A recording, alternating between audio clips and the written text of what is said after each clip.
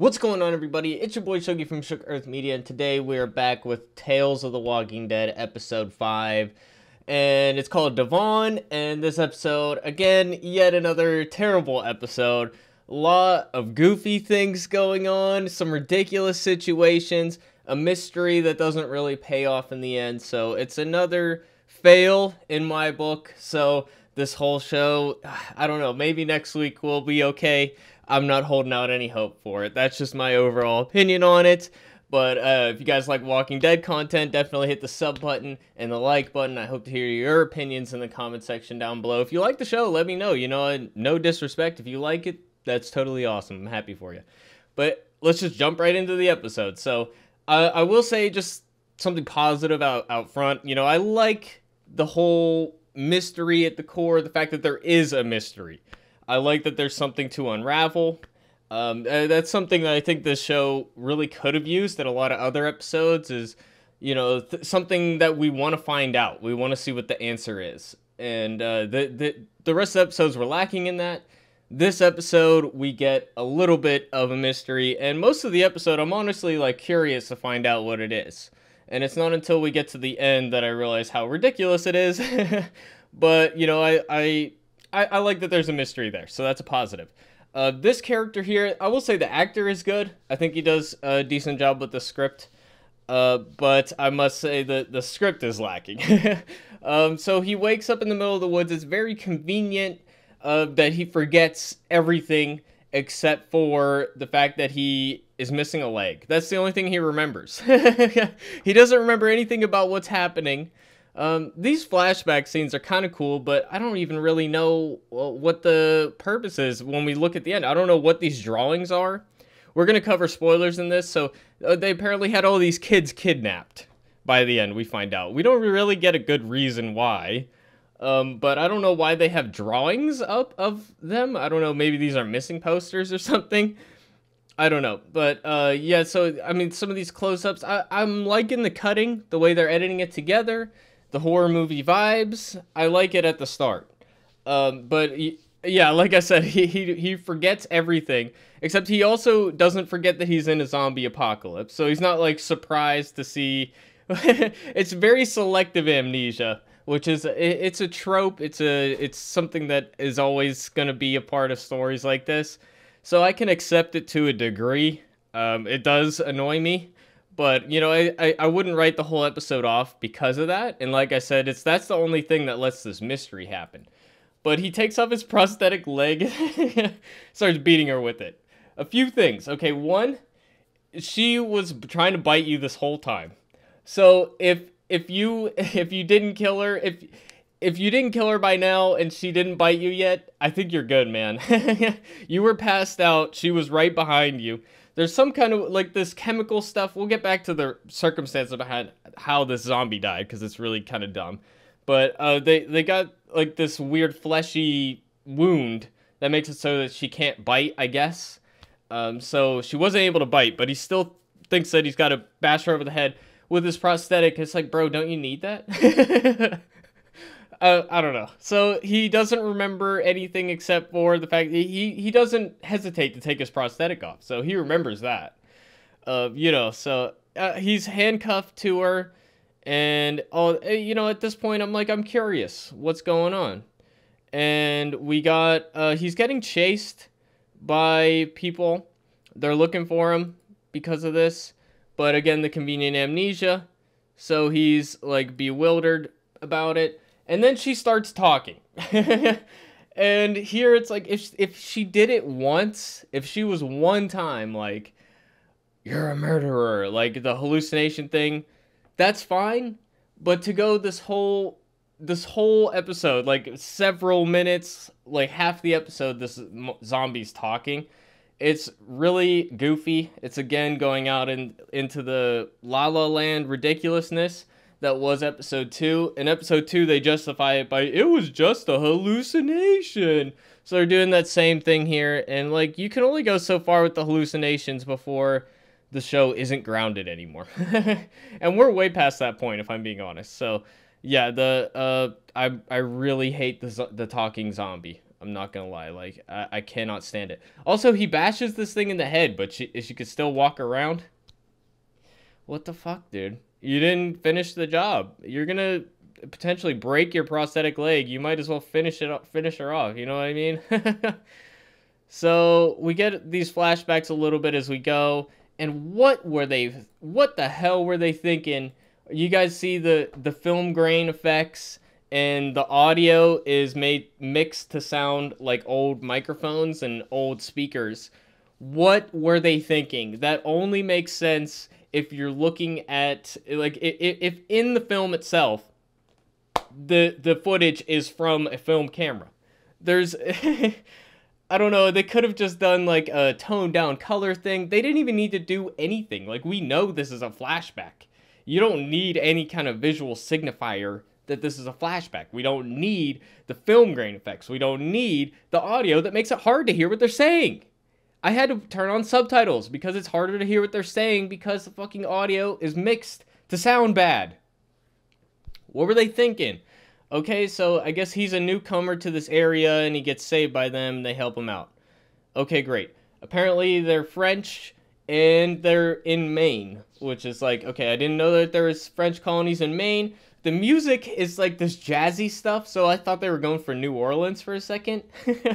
it's just really weird tone. I don't know, is jazz a Maine thing too? Is that like a French thing? I thought jazz was like more of an American thing, but I, I don't know. Maybe I'm off base with that. I don't I don't really know. The music is is over the top is what I'm getting at. We'll get at a little bit more of these flashbacks later. But yeah, I mean the flashbacks are okay, but look, not only is she talking, she's fucking the zombie is pointing, telling him where to go and telling him which house number to go at.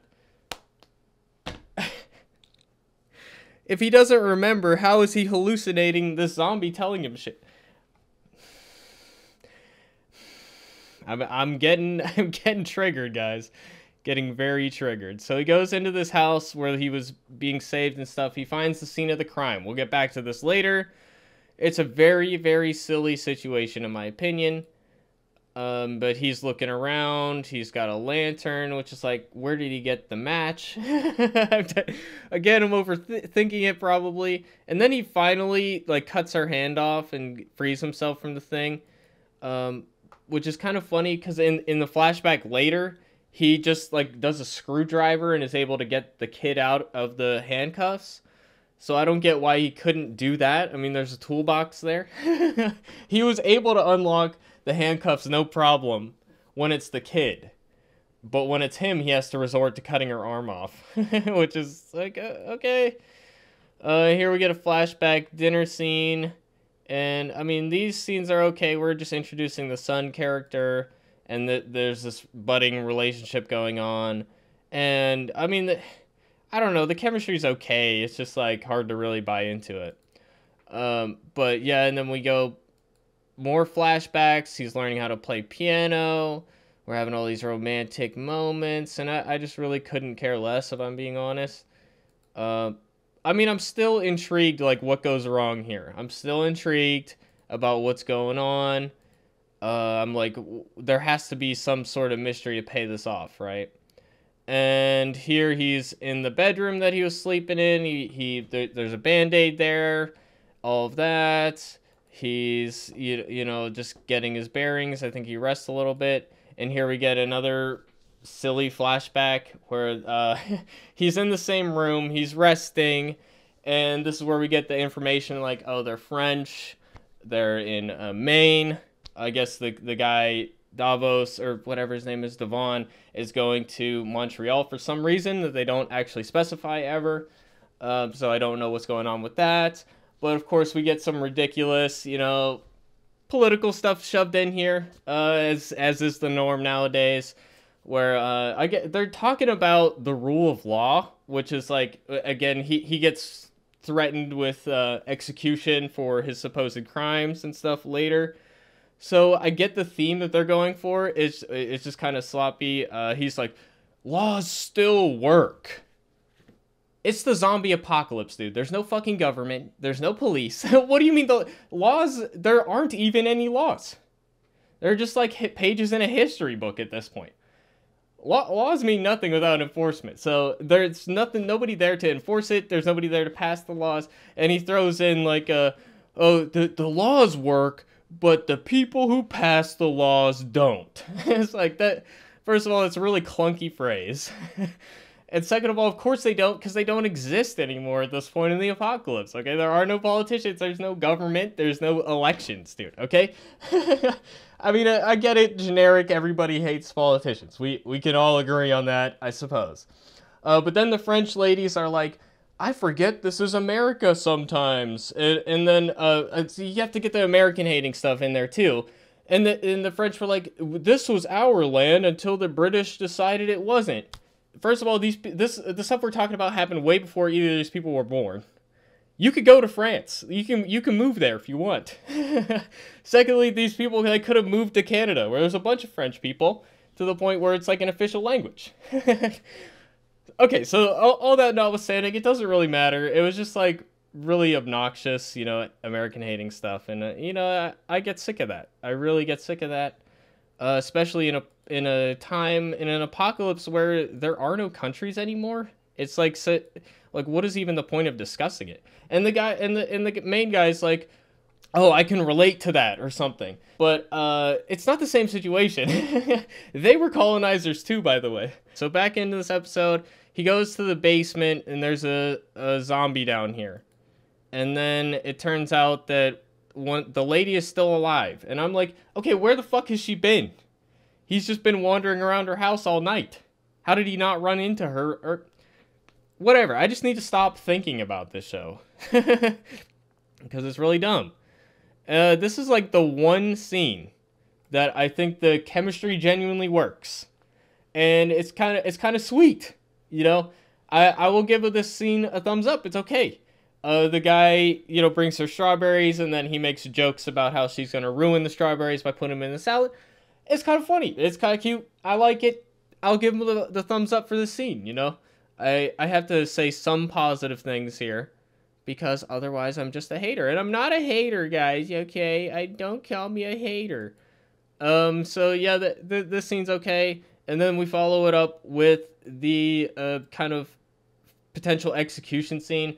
And I like the aesthetics of this, you know, the whole tying him to something and you know, the burning at the stake almost. It, I, I like the aesthetic of it, like I said. Um, I will say we get to hear more of the the the French people, and I don't know. Somebody who's French would have to tell me the accents come off as like over the top. So I don't know if these people actually speak it or not, or or what. Um, I, will give them the benefit of the doubt. Uh, again, I don't know the accent all that well. It just comes off as a little over the top. And also, they can all speak English when they were talking about earlier how they forgot it was America. So wouldn't they just all be speaking French all the time? And uh, yeah, I mean, I get when they're talking to him, he doesn't speak French, so they have to speak English for him. But when they're speaking to each other, it should be in French, right? Am I overthinking it? Probably. but that's what we do on this channel, okay, guys? Um, so yeah, it's this. They're they're blaming him for something uh, that he actually kind of did. So he did actually kind of do what he's accused of to an extent. Um, it's just they they are missing out some of the finer details. Um, so they have. this is the dumbest fucking part. Uh, okay, it's a pretty dumb episode, so there's competition for that. This van, they got him in. They're gonna throw him in this van and then crush the van.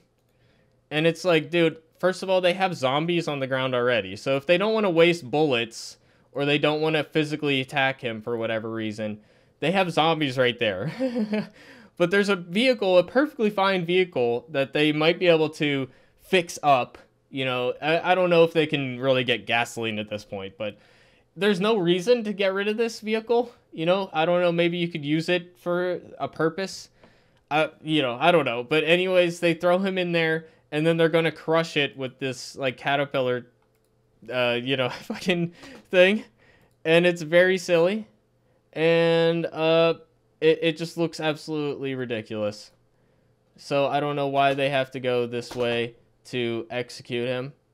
And it just made me laugh. And like why would they just why wouldn't they just kill the zombies that are here too? They're the zombies aren't even trying to bite anybody. Like I don't understand that part either. So it's it, it's really goofy and then he remembers that one of the kids is still alive. You know, again, convenient amnesia. But convenient amnesia is just a, a, it's a thing in literature you just have to accept sometimes. Um, so you know, I, I won't harp on that too much. It wouldn't bother me if the rest of the story was good. But uh, yeah, and then there's there's a fight breaks out because the Nora person that he likes, uh, that doesn't seem to care for him very much, uh, is willing to have him killed. Uh, she stops it or tries to stop it. Basically, a fight breaks out, and then uh, the the son character slips away, and then he follows him apparently all night because it goes from night to day like that. Uh, I I, I don't know, and he didn't get caught or anything. He was is he really that sneaky of a guy? He's not very nimble. He's missing a leg. Okay. And uh, I mean, we got the this thing here, and basically, I don't know, I don't know exactly what the motivation is for the older kid here. I think it's like a Mika situation. He's like, I want to spare them from this world, and it's like, I don't know. I've seen your, I've seen your village. You got nice houses. They don't seem to be fighting anybody right now. There doesn't seem to be any warfare going on. Um, it's to the point where they were willing to bring somebody in the the Davon guy, they're willing to bring him in, fix him up, help him out. They're willing to do all these things. So I don't think that their society is constantly under threat because if it was, they wouldn't have been as accepting of a newcomer. So I don't think that their life is really that bad. I mean, comparatively in the apocalypse, they have a, a stable place to live. They have a community. They seem to be clean. They seem to be well fed. I mean, he's got strawberries and shit like that. Is it really that bad? so I don't even really understand the motivations here. You know, I get the whole trying to spare the children thing, but honestly, that would work better like during the outbreak. If you want to do that storyline, it's it's much better in a more desperate situation. Uh, but whatever, they got a creepy kid, and they they want to do the Mika thing again. Again, going back to the well and repeating themselves. But then we get the real flashback where he discovers children in the basement because he heard them through the vents. A couple things. How did he not miss the fact that there were fucking kids in the basement? I mean, they must have been going down. The, the, the kids didn't have their mouths duct taped, so they've been making noise almost certainly. And the the women, why would they let a stranger in their house if they're doing this? okay, so that's dumb. Well, how how did he not notice? And, and all all of that. So like, it's so dumb. And also, why would they even, if their whole thing is like, we want to spare people from the apocalypse, wouldn't they just kill this guy or let him die? Like, why even save him? If that's their ideology at this point. And also, how did the fucking mom, who's so concerned about her daughter, not know that he was tied up in the fucking basement? And also, like, all these people, they, they, they're mad at, at Dav Devon, or I keep forgetting his fucking name because it doesn't matter. But Devon it's supposedly this murderer. He killed all these children. The children are missing. Oh no, we got to find the children. That's the whole villagers' motivation here, and that's why they, they didn't kill him right away. They want to find out where the kids are. So you're telling me these kids were locked in the basement for weeks or months on end, and nobody noticed until they supposedly died? Why why are they only concerned about the kids after the thing with fucking Devon? And also, like, where did the kid go? Like, I, I get that the, the kid's brother was there, but he frees the kid, the kid runs away, and then they have a fight, and then uh, the, the kid just ends up getting kidnapped again. Why wouldn't he run? I don't know, bro and then they end up in the, uh, he he he has the handcuffs because like I said he easily got them off of the kid put them in his pocket. He's got the handcuffs. He his idea of fixing this situation is handcuffing himself to the women to the woman who was attacking him. That's a really bad idea. I mean if you want to uh, try to hook her to something so to immobilize her that's one thing. To if somebody's attacking you, the last thing you want to do is handcuff yourself to them, especially if you don't have the fucking key to unlock yourself later. It's so stupid. And then also like the the the face thing that we are talking about. There's some kind of weird chemical on the ground. I don't know what that chemical is. If they said what it was, all I'm saying is if there was a chemical that dangerous that it would burn your face off. I don't. Maybe it's bleach or something. I don't know what the fuck it is.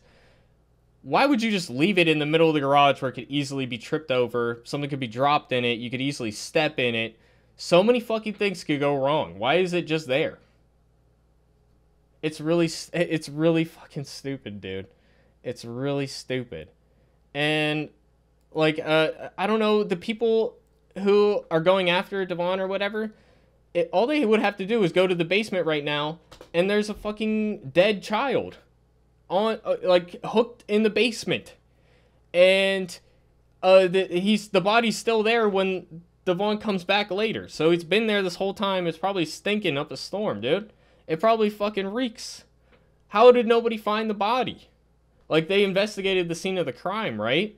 So I'm guessing that they did find the body in the basement, and that's why they're so mad at Devon here. But I don't understand how Nora didn't know that this was going on in her own house right? I mean, I think she lives there permanently, so how did she not know about the children in the basement before Devon finds out about it? Uh, but yeah, this is the chemical here. She trips in it and it burns her face off, and then she dies, I guess. And then the kid comes in and he's freaking out. Uh, so he did kind of murder the lady, but it was like somewhat a self defense situation, except he. hooking himself to her is like the exact opposite of self defense. I don't know what he was trying to achieve with that. Like it doesn't make any sense. And then he's carrying her. Um, I mean, I don't know. Would he be able to hold all that weight with the prosthetic? I don't know. I that's a question I I would uh need to ask a doctor or something. But uh yeah, and then we get more flashbacks and like, oh yeah, their relationship was so great.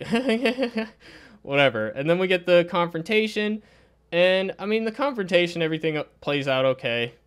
Um one kind of dumb thing is the kid shows two of the kids' bodies, and they're just like buried under like a thing of wood with leaves over top of it to make it look hidden.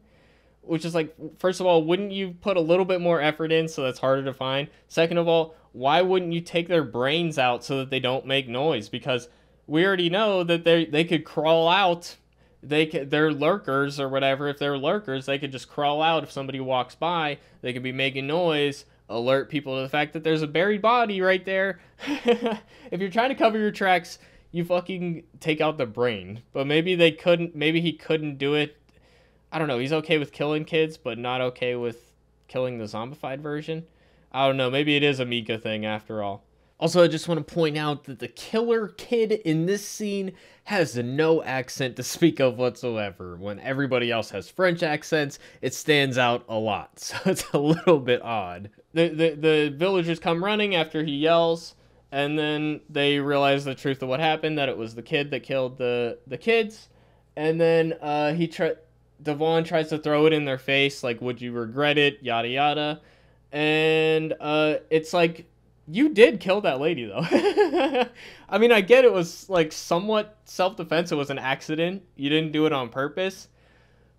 But you did do what they were accused of. so nobody brings that up. Nobody brings up the dead lady. All they care about is the kids, which I think is funny. And then uh, that's pretty much it. We get a preview for next week, and it looks as ridiculous as this episode. They got talking ghosts and zombies and like supernatural shit is what they want us to think it is based on the commercial. So another ridiculous episode next week too, and this whole season was a complete fail. And that's just my opinion on it, guys. Let me know what you think in the comment section down below. I think we covered pretty much everything this episode. I hope to see you guys in the next video. With that, it's been your boy Shuggy. Thanks for watching, everybody.